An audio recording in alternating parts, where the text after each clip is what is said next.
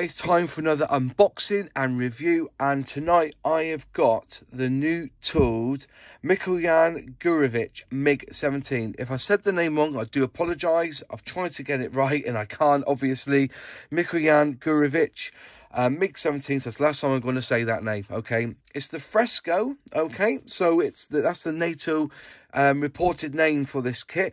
It also comes with the other finish, which is the Chinese licensed version of this plane, the Shenyang J5. Airfix have basically retooled a classic or a brand new tool, I should say.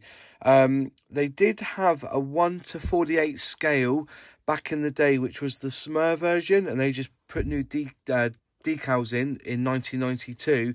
But this is absolutely brand new for Airfix to do this kit.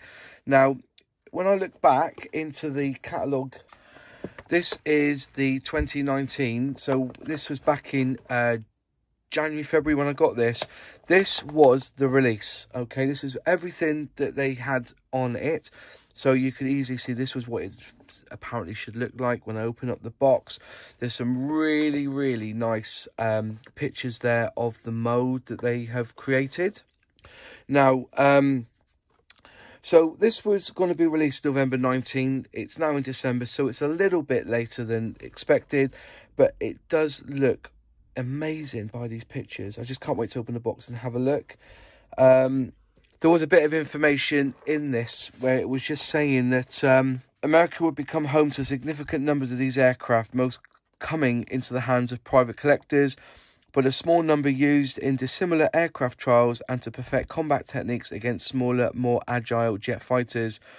Two beautifully restored examples have also been popular displayed performers of the US air show circuit over the years. So, fair play to them for bringing out a brand new model. It's a fighter aircraft from the Soviet Union designed by uh, Mikoyan Gurevich. Its first flight was in January 1950. It was introduced in, in service in 1952. That apparently there is some limited service left of this plane. It was the Soviet Air Forces, the People's Liberation Army Air Force had this, the Polish Air Force and the Vietnam People's Air Force had this plane. Obviously, there was other variants. There was um, the Mielec Lim 6 and the Shenyang J5. It was the predecessor to the MiG-19. Okay, it was a, a high subsonic fighter aircraft produced in Russia, and it operated in many variants. Um, the the advanced development of this of this plane was actually the Shenyang J5. It saw its first combat in 1958 in in on the uh, uh, second Taiwan Strait crisis, and it proved to be an effective threat against more modern supersonic fighters of the United States in the Vietnam War. The MiG-17s were designed to intercept straight and level flying enemy bombers, not for air-to-air -air combat, or dogfighting as we call it. Um, this subsonic, it was subsonic because it was um, 9.93 Mach. It never made one Mach or Mach 1. It was um, so you could call it a, a, a, supersonic fighter. It was just a subsonic one. Um, it was effective against the slower 0.6 to 8 Mark planes. It was heavily loaded US fighter bombers as well as the mainstay American strategic bombers during the MiG-17's development cycle. So as the bombers were coming along from America, the MiG-17s basically were aimed for that sort of defense. Now, a little bit of history about the engine because I find the, it's fascinating the engine in this plane. The engine was called the Klimov VK1 and it was the first Soviet jet engine to see large production. It was developed by Vladimir um, Klimov and he first produced this in the Gaz 116 works. It was derived from the Rolls-Royce Nene, okay? when I mean uh, derived, I'll, I'll explain it because the, the actual Rolls Royce engine was only used in very, very few planes. I think it was mostly the Hawker Seahawk and the Supermarine Attacker, and the United States um, made it under license as the Pratt & Whitney J42 that basically powered the Grumman F9F Panther. So anyway, the history of how this engine became to be was in 1946, just before the Cold War really really started to burn, the new British Labour government under the Prime Minister Clement Attlee was trying to improve diplomatic relations with the Soviet Union. So he authorised Rolls-Royce to export 40 Rolls-Royce Nene um, turbojet engines over to him, you know, to let them use. But in 1958, it was discovered that during a visit to Beijing by the deputy chairman of Rolls-Royce, that the engine had been copied without license to power the original MiG-15. First, it was known as the RD45, and then there were some real problems with the actual the actual engine that they redesigned it slightly and copied it even closely, the um, the Nene, and then the engine had entered production as the Klimov VK1. Now, Rolls-Royce later attempted to claim nearly £200 million in licence fees, but it was unsuccessful. So this um, RD45 was improved to produce the VK1, which differed from the Nene in having a larger combustion chamber, had a slightly larger turbine, and it had a revised induction giving greater airflow through the engine. And then also with this plane here, the 17F, the model was given an afterburner, giving it some huge extra power, which took it up to the, I think it was 0.95 Mach. One bit of history of the engine also is that these engines are still used today in Russia and they mount them on trucks and on railroad cars as snow blowers and ice melters. So there's the history of the engine and the plane that we are going to look at building. So let's just have a little look at the box. Um, just cut the, the tape. And it's a top opener. So off the lid slides, there you go, put to one side. There's a bag of uh, sprues and there is the decals, which look really, really crisp. Look at that. So Chinese and Russian on the decals. I'll just put the paper that protects it to one side into the box. Now, Airfix have really made uh, leaps and bounds, I should say, in their construction kit instructions. So let's have a little look. There's some information there about it. So, so you do the cockpit first, blah, blah. There's the seat.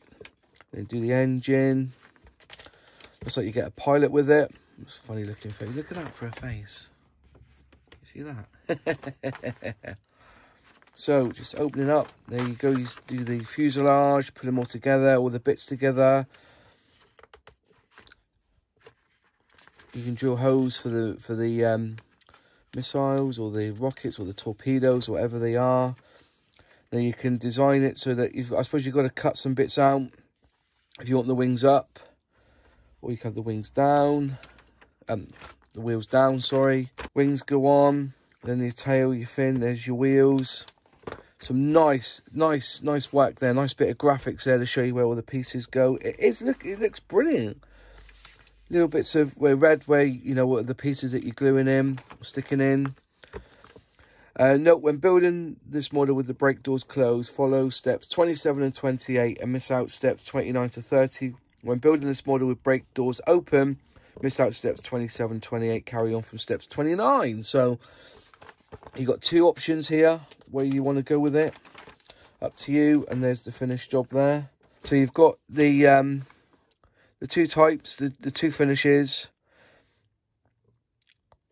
there and on the back here you've got the the Russian version. So you, inside so basically where you've got the really what I call difficult spray job or paint job of trying to get that sort of pattern in the in the in the finish is the Shenyang J5 version. And then if you just want the bog standard one, using gunmetal, matte black and 11 silver, that's what you need to do with that. So the bag, obviously it's uh, sealed, so watch if I don't cut my fingers, cut my fingers for a pastime.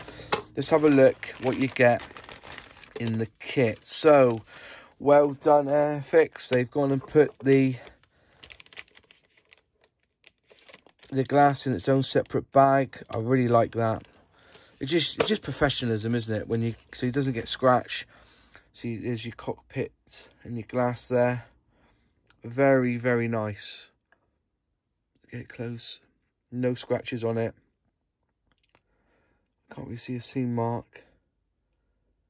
So there you go. There's your your your, your clears. Just have a look at the actual kit itself. So it comes as uh, three sprues. And there's some lovely detail here. So I'm just going to bring it up. So there you go. You can just see some really clear detail on the actual parts. Look at this. This, whoops, just caught the camera there, sorry. Let's just try and get it back into focus. There you go. Look at that. There's some lovely detail on these sprues. Fan bloody tastic. Really, really good. Try get the camera to focus. Look at the wheels there. Brilliant. Absolutely fantastic. So sprue one. Let's just uh, push this up here so it's out of the way slightly. Keep it there. Right. So let's look at the fuselage. Some lovely detail on the fuselage there. If I try and get it close. This is a really, really nice looking kit. And because it's new, there's hardly any flash whatsoever. Isn't that nice? It looks terrific. Just looking at the uh, at the fuselage again, there's some lovely detail, some rivets there. All recessed bits. Look at the other side. Very, very, very, very sweet. Very, very crisp. Let's just look at the, let's have a look at the pilot. There's the pilot there. Try and get it to focus, focus. There you go. Look at that. Lovely. Lovely detail. Nice on the wings as well. So you can see what you're getting. This is going to be a really good kit to build.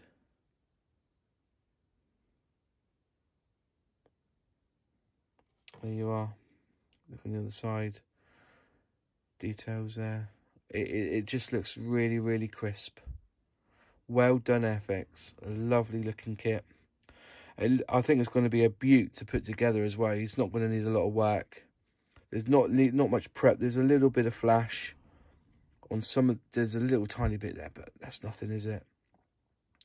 Fantastic. So, three sprues plus your glass.